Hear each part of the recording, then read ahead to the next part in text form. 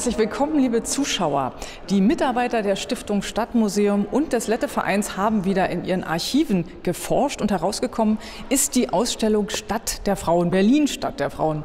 Äh, Martina Weinland, Sie sind die Kuratorin der Ausstellung. Nun liegt der Titel erstmal nahe, dass man denken könnte, Berlin ist besonders frauenfreundlich oder sind die Frauen, die Sie hier vorstellen, eben äh, so stark, dass sie es eben trotzdem geschafft haben? Also ich würde fast zu Ihrer letzteren äh, Interpretation äh, tendieren, denn ähm, Berlin ist, und das zeigt diese Ausstellung, die die letzten 150 Jahre ja betrachtet, ausgehend von der Gründung des Lettevereins 1866 bis heute, muss man sagen, ist Berlin in manchen Teilen sehr rückständig gewesen. Da war man in Leipzig deutlich früher und weiter als in Berlin und Preußen. Auf der anderen Seite ist es so, dass äh, keine dieser 20 Frauen wirklich diese entscheidenden Jahre, diese Lebensinhalte hätte finden können in München oder Köln oder Frankfurt. Ich will den Städten nicht zu nahe treten, aber ich glaube, es braucht diese besondere Berliner Melange, dass man von außen kommen kann, ein No-Name ist, dass man hier dann reüssiert, dass man zum gefeierten Star wird wie Fritzi Massari oder aber zur prägenden Gestalt wie Clara von Simson oder aber aufbaut wie Luise Schröder, die in Altona geboren ist und erst nach 1933 überhaupt nach Berlin kommt, oder aber die aus Breslau stammende erste Zoodirektorin Deutschlands, Katharina Heinroth.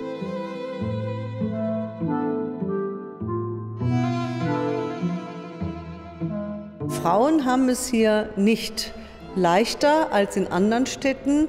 Aber wenn Sie sich bewegen, wenn Sie etwas verändern wollen, initiieren wollen, dann sind Sie in dieser Stadt richtig, weil diese Stadt Ihnen dazu die Möglichkeiten gibt. Und das zeigen wir, glaube ich. Sie haben jetzt schon ein paar Namen genannt. Ähm, welche Frauen haben Sie ausgesucht? 20 sind es insgesamt. Ähm, warum diese 20?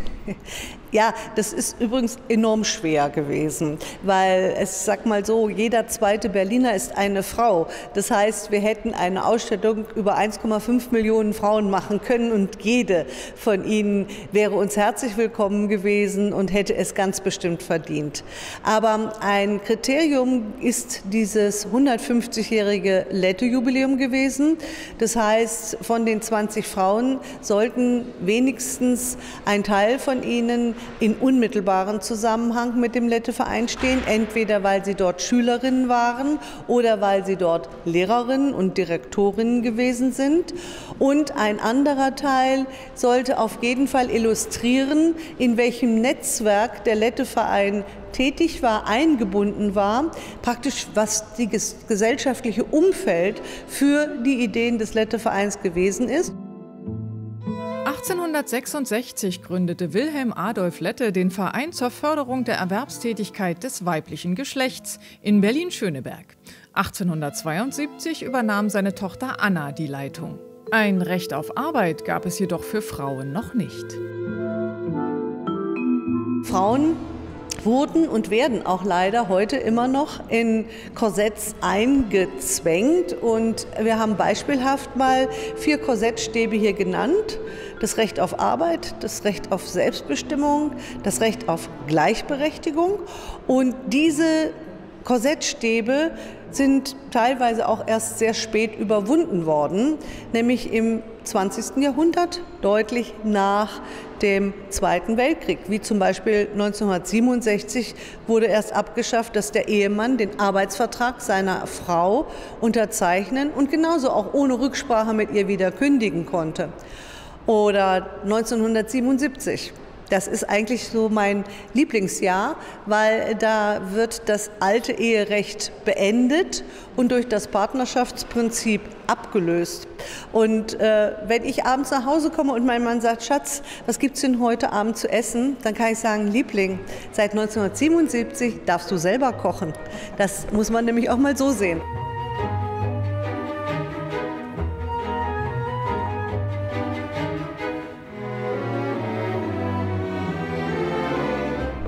Mit diesen Widerständen hatten also diese Frauen alle zu kämpfen. Welche Gemeinsamkeiten gab es noch? Vielleicht in der Persönlichkeit? Also es gab natürlich die Gemeinsamkeit, dass sie fast gleich zur gleichen Zeit geboren wurden, zur gleichen Zeit in Berlin aktiv gelebt haben und äh, praktisch dann auch hier ihre Freundschaften begründet haben. Eine ganz besonders schöne Geschichte ist die zwischen der Künstlerin Charlotte Behrendt Korinth, die mit dem wesentlich älteren berühmten Maler Lovis Korinth verheiratet war, und mit der Schauspielerin und Sängerin Fritzi Massari. Beide haben ihren Höhepunkt hier in Berlin. Beide müssen nach 1933 ihrer jüdischen Herkunft wegen Deutschland und Berlin verlassen. Beide finden ab 1939 Exil in Amerika. Und Charlotte, die eigentlich zu ihrem Sohn Thomas nach New York ziehen will, entscheidet sich dann, zu ihrer Freundin Fritzi Massari nach Kalifornien umzusiedeln wo sie dann auch noch bleibt bis 1952. Also das heißt, die Freundschaften, die man in Berlin geknüpft hat in jungen Jahren, die überstehen sogar diese wirklich schlimmen Schicksalsschläge, diese Existenzbedrohungen, diese Vernichtung und den Wiederaufbau. Familie und Beruf unter einen Hut zu bringen, war auch für die Frauen damals eine Herausforderung. So zum Beispiel für Charlotte Behren-Korinth oder Käthe Kollwitz. Käthe Kollwitz hat ja zwei Söhne gehabt. Käthe Kollwitz hatte aber den großen Vorteil, dass ihr Mann Karl ja als Mediziner im Prenzlauer Berg wirkte und tatsächlich ihr ermöglichte, indem es also eine Haushälterin gab und eine Zugehfrau gab und auch für die Kinderbetreuung da war, dass sie tatsächlich die Tageszeit, die er arbeitete, auch selber nutzen konnte. Also Käthe war keine Hausfrau, die gestopft hat oder geplättet oder gekocht hat, sondern die ließ dieses machen. Ja? Und deswegen konnte sie eben auch künstlerisch freitätig sein.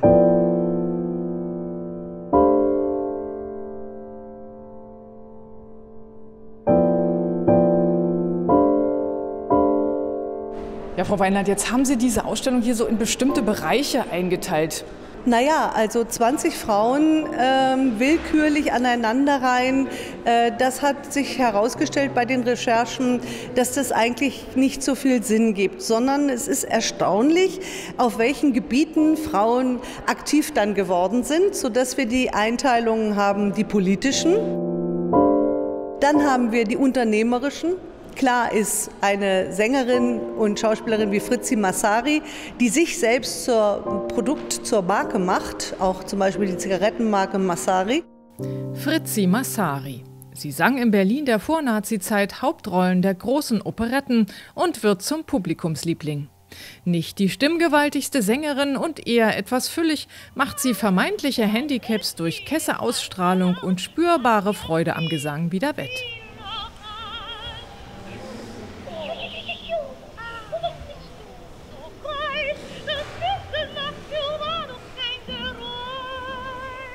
Masari sehen gehört für Berlin-Besucher zum Pflichtprogramm. Wofür sie wirbt, das wird zum Verkaufsschlager.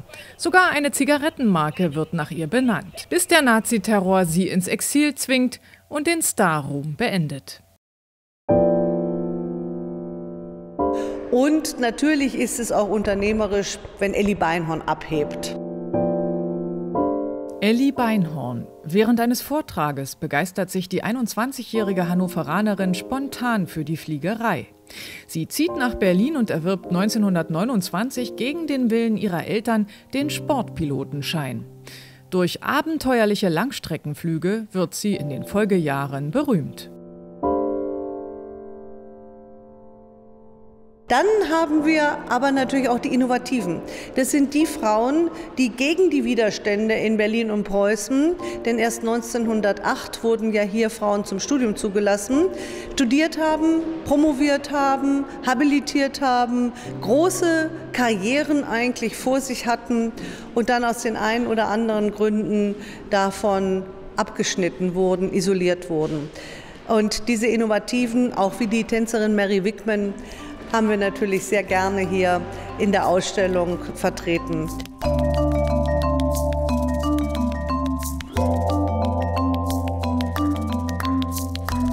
Daneben haben wir dann noch die künstlerischen.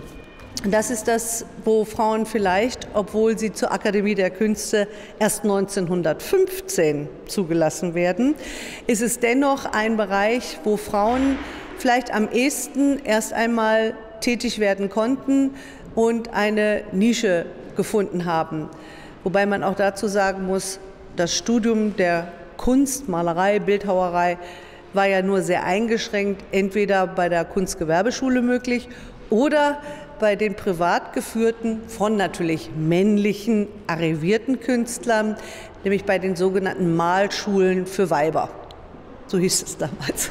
Gehen Sie eigentlich hier in der Ausstellung auch auf die Gegenwart ein? Wie ist es heute? Und gerade auch ähm, nochmal zum Thema Letteverein zu kommen? Ja, wir begegnen hier in der Ausstellung immer wieder Stationen, die von den jetzigen äh, beiden Schulklassen Medien- und Grafikdesign des Lettevereins konzipiert worden sind. Es gibt auch ein Quiz, das der Letteverein entwickelt hat, wo man hier zu den 20 Frauen Fragen gestellt bekommt und am Ende kann man punkten, also es wird gewotet. Und wir haben natürlich auch ganz oben im dritten OG praktisch als Abschluss der Ausstellung eine Möglichkeit, über Twitter Kommentare zu machen und auch eine Fragebogenaktion, die wir dort oben durchführen. Was würden Sie verändern, wenn Sie regierender Bürgermeister von Berlin wären? Diese Ergebnisse werden am Ende dem gleichnamigen äh, Verein Berlin Stadt der Frauen, das ist eine überparteiliche Initiative, die am Abgeordnetenhaus Berlins angesiedelt ist, werden die dann diesem Verein übergeben, denn wir möchten natürlich, dass die aktuellen Anregungen dann auch weiter verfolgt werden und äh, vielleicht auch zum Positiven der Frauen sich etwas verändert. Ja, und dann möchte ich natürlich auch noch ganz herzlich darauf hinweisen, dass wir einen kleinen Vorführraum oben zeigen haben, indem wir Filme zeigen, wo man die Protagonistin, die kann man ja in der Ausstellung selbst live erleben, aber dann eben in diesem kleinen Vorführraum noch mal intensiver. Und äh, einer meiner Lieblingsbeiträge darin ist allerdings ein Lette Werbefilm von 1952. Der hat den schönen Titel Beruf Doppelpunkt Hausfrau.